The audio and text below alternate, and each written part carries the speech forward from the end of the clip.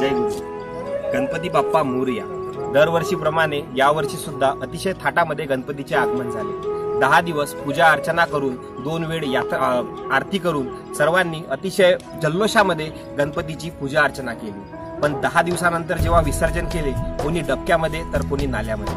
गुरुकुंज बोजरीमध्ये असाच एक तलाव किंवा ढोलपिंड म्हणून एक सा- ठिकाण आहे. तिथे भरपूर लोकांनी गणपतीचे विसर्जन केले. पण आज येथील परिस्थिती बघा इथे जवळपास दीडशे ते दोनशे गणपती असे आहे की ज्यांची विटंबना होत आहे. हीच का आपली परमेश्वराची अर्चना? हीच का आपली श्रद्धा?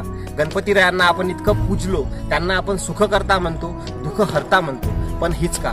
आज तोच गणपती बघा त्याची काय अवस्था झालेली आहे. याकरताच गुरुकुंज मुजरी युवा मित्रमंडळाच्या कार्यकर्त्यांनी एक सामाजिक उपक्रम म्हणून या सर्व गणपतींचा सामूहिक विसर्जनाचा कार्यक्रम आज योजिला. आणि त्याकरता आम्हाला एकच यामधून तुम्हाला उपदेश द्यायचा आहे की यावर्षी आपल्याकडनं चूक झाली.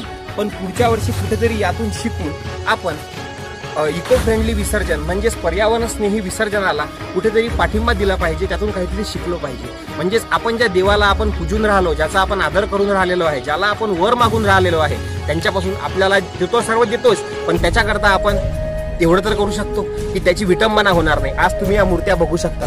कुणाचं भुंके तुटलेले आहे तर कुणाचे हात मोडलेले आहे. अशा मूर्त्या बघितल्यावर आपल्याच मनात कसं तरी वाटेल की ज्यांची आपण दहा दिवस पूजा अर्चना केली आज त्यांची अवस्था काय झाली? शिका जय गुरु